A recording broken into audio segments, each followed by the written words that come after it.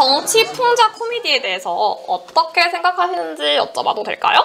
그 저는 아주 그게 좋다고 보고 제가 한 20대인가 뭐 이럴 때만 해도 TV에서 정치 풍자 그 코미디 개그 많이 봤거든요. 아니 그 몇 년 전에 우연히 이제 TV를 보다 보니까 오바마 그 미국 대통령이 그 대통령을 상대로 놀리고 흉을 보게 하고 하는 그런 행사를 하는데 그걸 저도 굉장히 재밌게 봤거든요.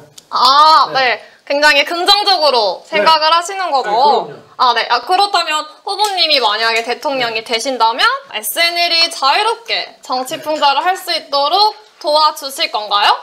그건 도와주는 게 아니라 SNL의 권리입니다. 아, 그렇게 생각을 하시는군요. 네. 네, 알겠습니다. 답변 감사합니다.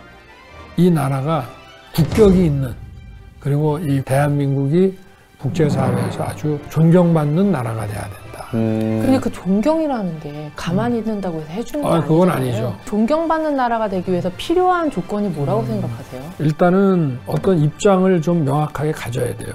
자유민주주의, 인권 뭐 이런 데 있어서 발전한 선진국들과 우리가 공동의 보조를 취하고 우리가 이제 무역 뭐 선진국이 됐잖아요. 그럼 우리가 이제 어려운 나라들에 대해서 상당한 정도 지원을 또 해줘야 된다고 네. 책임을 다하는 거예요. 네.